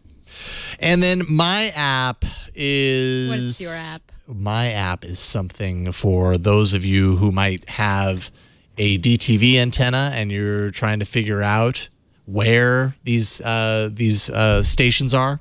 You're trying to find an antenna uh, somewhere out there that, that carries This the, is- the channel that you're looking for. You need this if you have an antenna. Oh boy. Li- living in San Francisco, I remember this. yeah, exactly. And and Oh. I've got the radius kind of out right now. Um, it's it just outside of San Francisco. Um, I guess I could. I'm trying to find remember a San Francisco. uh, Nah, no, that's I've lost all nine four one one one. That is a San Francisco. wow, I forgot too. There we Oh, go. Awful. Yeah, I know. So basically, it'll show you in your radius, and I have a. I wish it gave you a numerical value of what your radius is, but it doesn't. I think this is a new app that uh, that came out not too long ago. But you can define your radius, and it'll show you within your radius, which would I I assume be the reach of whatever your DTV antenna is that you plan to put on on your home. Um, define that radius, and it'll show you where these antennas are placed. And in the Bay Area, uh, much of it is placed in the center of San Francisco, which is really great if you live there. Uh, Wait, is that Sutro Tower? yeah. Yeah. And so then what we have up here in Petaluma is we have a handful of these. And if I go to the list, kind of shows you what's locally. If I get an antenna very close to me, this is about all I'm going to get on my on my antenna. Wow. Kind of shows you the rough direction of where they are compared to your location. And again, you could set out get that radius PBS. to know better. Oh yeah, I know At everything. Least. I would Everything you need is this. on This is pretty slick. Um, and then, and yeah, and I, I imagine that could help in positioning the antenna that you have. If you want to get in a particular station stronger Yeah. than not, you can kind of see the arrow is pointing that way. It's kind of hard to see uh, if I zoom, you know, over the feed, but I can see it's a very tiny arrow pointing in a certain direction. So if I was to use this to kind of try to narrow down the direction where the specific station's antennas are, I could potentially improve my uh, my reception of that. Uh, I just thought it was a cool kind of visualization of these things, uh, realizing that it's probably not going to help me very much up here in Petaluma. So a, a bunch of, the, I think the NBC antenna is down in San Yep, Jose. Yep. yep, yep, So like you're you're screwed up here. You're screwed. You're not going to get NBC. It's just probably It's not okay. going to happen. it's fine. You're not missing much. No, it's true. Yeah, I've lived without it for a long time. Uh, but anyways, it's a cool little app. Uh, very kind of low installs on this. I think, like I said, I think it's a relatively new app. Helpful utility. Uh, and yeah, I, w- I wish I had that slick, when I was in. San Francisco. I would spend forever trying to position my antenna to get the channels. Yeah, I remember Ugh. those days. Yeah, yeah. One one install, as far as I can tell, on the Play Store. So this is a very new app. Uh, Are you the only one who's installed it? Jason's the beta. I don't. I don't think I'm the only one that installed it. The alpha. I just don't think their page is updated yet, but it very well could have gone live today or yesterday. Well, enjoy TV Towers, everyone. Yeah. Debut of a new app. That's right. Hey, Go show them some love. yeah, you could be the first on the new wave of apps. Like social media has defined the last 10 years. Maybe the next 10 years will be defined by TV tower apps. and you will be in the very beginning. You'll be riding the wave from the beginning with this app. You're welcome. Flo's facial expression was priceless. Full of doubt, I'm sure. TV Towers is the name of the app. All right, and that is that. If you want to place your vote, don't go where you normally go because I messed it up. Go to instead twit.to slash triple A vote 379. Twit.to slash triple A vote 379. That's And you AAA vote 379. Thank you. Thank you. Oh, man, I almost missed that Wait, detail. AA vote three seven nine. yes, AAA vote 379. I get I get nothing for you to see here. Twit.to slash, not TV. Yep, Or- twit.to slash AA vote three seven nine. I hate this tablet. Oh yeah, it went. It went to an. Um, Gonna have Well, fine. It's probably going to be Well, something Well else Jason, then. well, Jason is setting up that uh, twit.to slash AA vote 379. This is a good time to let you know to stay tuned to the bonus footage at the end of the show to watch us eat these thin Oreos with green fillings. What flavor is it? Who knows? Hmm. Stay tuned to the end of the show. You'll find out. The Oreo tastings are going to end soon, people. Let's enjoy them while they last before they become pistachios. before they become uh, parfaits. Okay, I think Pop-Tarts. I might be there. Pineapple. All right, now it works. Twit.to slash triple A vote 379. Thank you, Ron. I appreciate it. I Uh, love the vamp. Yeah, I appreciate it. Wait, we didn't get to see who Victor is voting for. Maybe we still get to. Who are you voting for, Victor? What's the big idea here? Never think.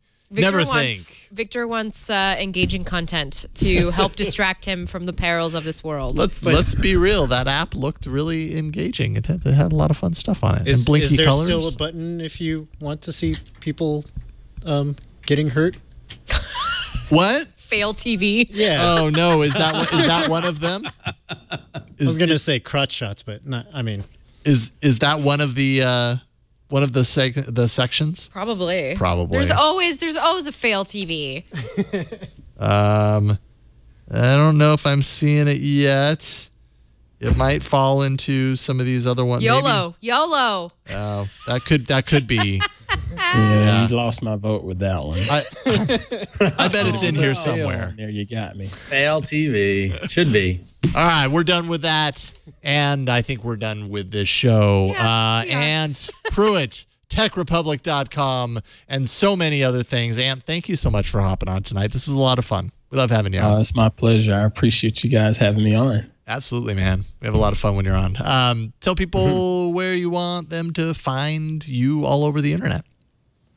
Uh, sure, hop on over to techrepublic.com. Um, I appreciate them giving me a space to to create and publish my findings and, and musings and whatnot. But uh, also head on over to my YouTube channel, youtube.com slash Ant Pruitt, and uh, Instagram. Just uh, search for Ant Pruitt. I'm the only one out there. Right on. That's got to be nice. It, it makes like securing URLs and usernames and all that stuff so much easier Look at those when you have a name that no one else has. Yeah, that's awesome. See, you go right after the storm. Is this a and you time get- lapse? Yeah, That's a hyperlapse with the drone. Wow.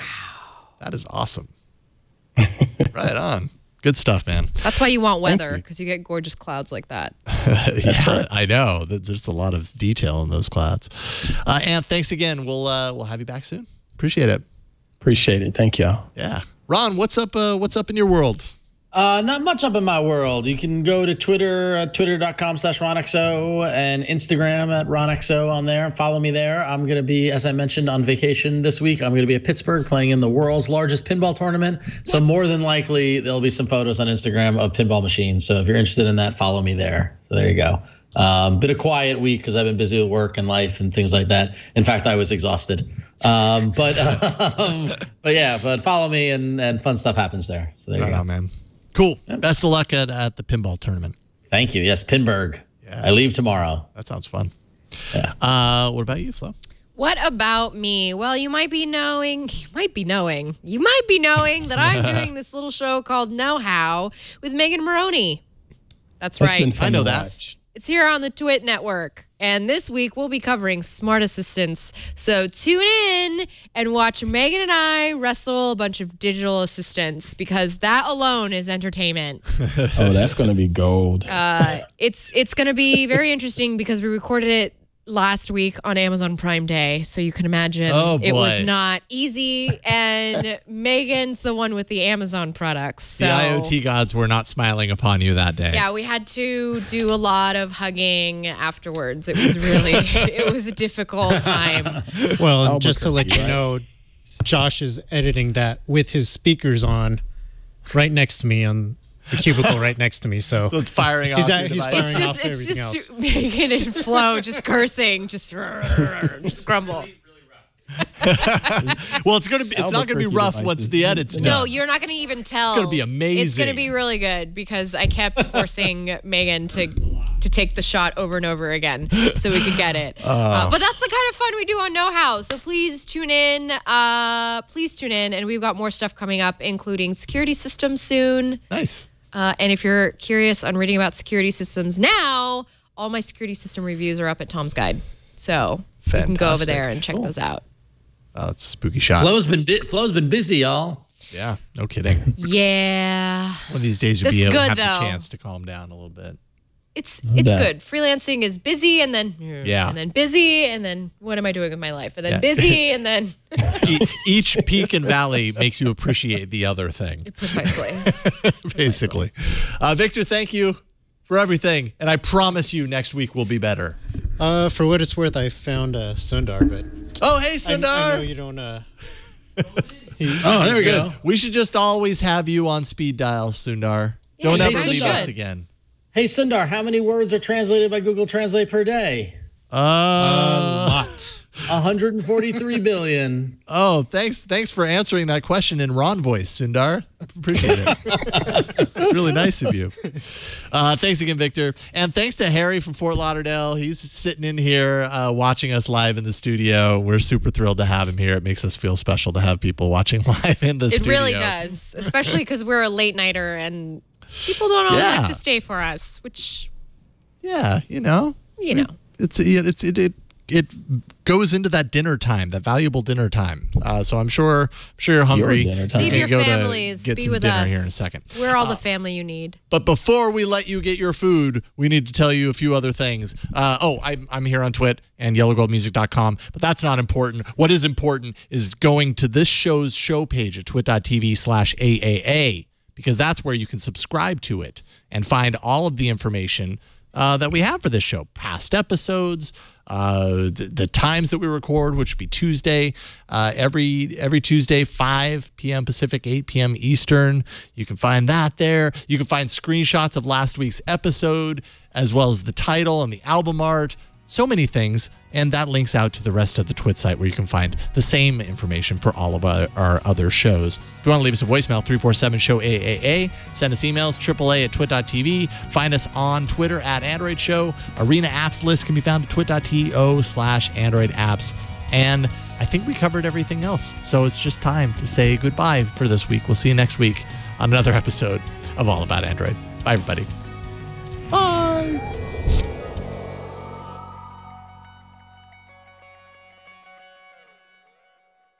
Ant, I did not prepare you for this, and I'm sorry. It's all good. I, I'm I I'm glad to be a part of it one way or another. You can live vicariously through us. Somewhat You can you can depends on if you like them. through through the power of the internet. You can be as sick of Oreos as we are after almost a year of tasting them every single week. Um, Ron, you're probably less sick of them than Flo and I because you've tasted some of them, but this week you're going to taste But- along with us. I've watched a lot of them, so I wouldn't say I'm totally not sick of them, but I'm happy because I get to participate this week. Good work. Thank- uh, why thanks don't you to introduce it? What what what is it?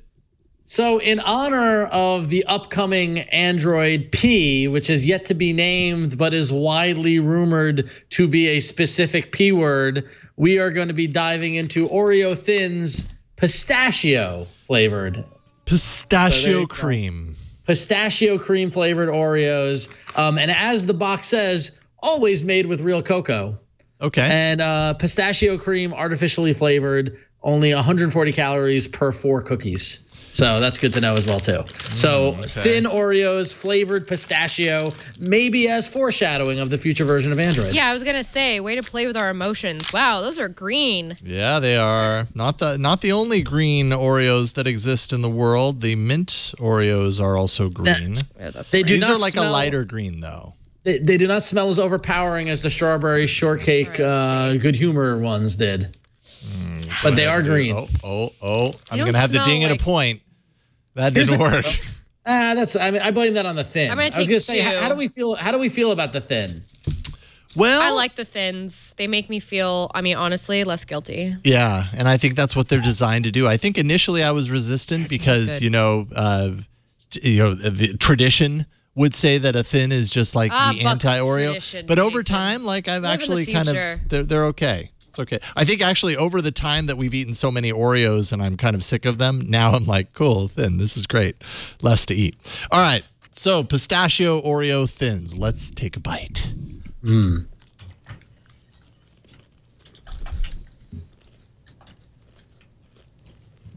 Okay. Ooh. I'm searching for a defined flavor right now. Well, no. Here's the thing. At first, I was like, this just tastes like a regular Oreo. Oh. But then, like one or two, did you get it? You got Yeah. like one or two bites in. All of a sudden, this pist- pistachio flavor ignites in your mouth.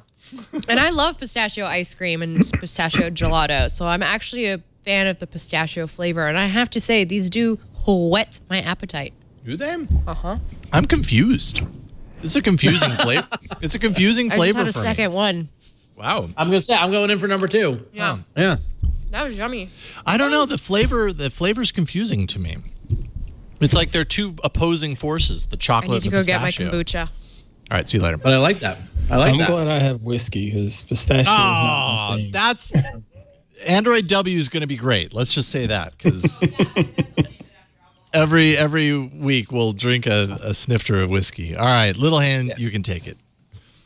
Uh, make I sure and share specifically that. brought that coffee around. kombucha to have with the Oreos today. So that's why I'm like, Oh. I need to. Is that generally a good combination? Oreos and kombucha. Yeah, this is Revive kombucha. It's one of my Okay. one of my new fave brands. It is uh, brewed in Sonoma County, right here in Sonoma Okay. County. okay. Um, in Petaluma, right here in Petaluma. This is Wow. Petaluma That's made local, booch. local flavor. Nice. Support local. That's what's up. I'm as as familiar as I am with Oreos. I am equally unfamiliar with kombucha. It's just carbonated beverage. Oh, And whatever flavors on the, and then sometimes it has So like soda. gross little bacteria in it. Yeah, what that's- you that's. Good for your belly. Yeah. Exactly. And it's just it Okay. really helps flow All into right. her thirties. Okay. Well, let's not. Let's. We're not rating kombucha. We're rating Oreos. So That's let's, true. That's let's true. do that. All right. So, uh, what do you think, Ron? I'm gonna give it a seven. Really? And it's a yes, and because I'm not down with the thin. If this was a full pistachio, it would be a solid eight, Not eight and a down half. with the But I'm giving a seven because I don't. I'm not. I. I, I want this in full Oreo splendor. Hmm. Okay. Uh, Flo, you're you're you're a pistachio fan. yeah, okay. I'd give it like, I'd give it like an eight. Like I would buy these and bring them home and eat them at my house Hmm, okay, so you would actually buy them. That I think that I really qualifies like as a B pistachio and flavor. above. Yeah. I really like pistachio flavor, and with chocolate, that's just my two favorite things: pistachios and chocolate. But I just don't think those two flavors work together. Therefore, I'm going to go ahead. Per, like, would I buy these and bring them home? I wouldn't. So I'm going to go ahead and give it a five and a half. That's unfortunate. I used to make a pistachio mix. I would get the shelled pistachio and mix it in with like uh, chocolate chips, Okay. and that would be like my little hmm. That's indulgence. I've just never considered like pistachio and chocolate to be uh, complementary flavors. I guess I don't know, or have I? Have I ever had like a pistachio? You know, I find people have very cream with interesting know. relationships with nuts. Yeah. Like not everybody has a similar relationship with nuts. It's It's true. And of and of, of all the nuts out there, pistachio is definitely not on my list of like I gotta have. Yeah. I grew up eating the Costco size bag of pistachios. Like it was a family like experience. Everyone shelling their own pistachios, tossing them into a communal bowl. it's like a pistachio party. it was. In Queen fact, Pruitt's the Pistachio same way. party. Queen Pruitt's the same way. Oh yeah, Loves pistachios pistachios. all the time. Okay. I have yeah, every day after work, I open a bag of sweet chili pistachios and I get to cracking. Scooter X likes pistachio Oreo thins. The thins part good. didn't bother me. It was just the combination of flavors. Well, flavors. that's okay. what? It's your first time. Oh, and Burke Burke gives it a very big little hand thumb up. So A very big little hand thumb up. I like that. Big little hand. we've Well got a whole row left over here. So Oh, good. Uh, well played, Going sir. straight into my mouth after the show. and all right.